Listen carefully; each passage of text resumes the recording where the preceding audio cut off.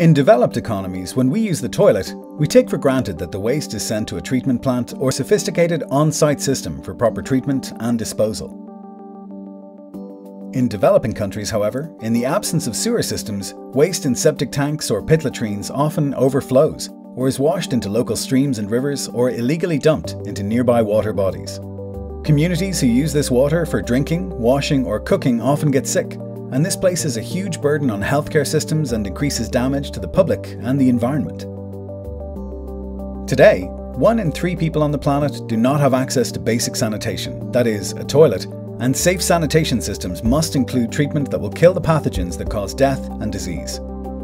As evident during the COVID 19 pandemic, when it comes to disease, early detection, treatment, and community response are all vital to limiting the impact on an individual's health and preventing outbreaks within a community.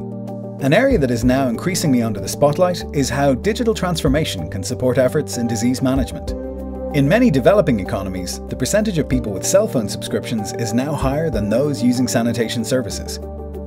This could present a vital link between user interaction with sanitation services through apps and being provided with important public health information.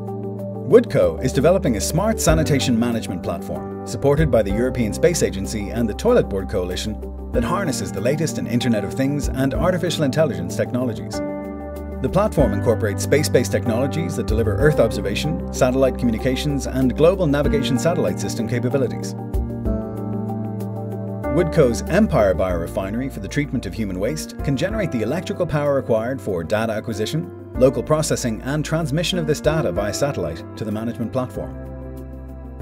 GNSS positioning is used for the geolocation of sensors and sampling points and tracking of sanitation assets, while Earth observation data and imagery provides vital environmental information and mapping capabilities. The Smart Sanitation Management platform supports the collection and analysis of various data sources relating to toilet user behavior and health, sanitation management processes, emerging IoT sensor technology data, and broader external environmental factors that can give rise to increased risk of disease. By combining the data streams from a wide variety of terrestrial and space-based sensing technologies with the help of AI, the platform will deliver actionable insights which may not be readily available from any single source.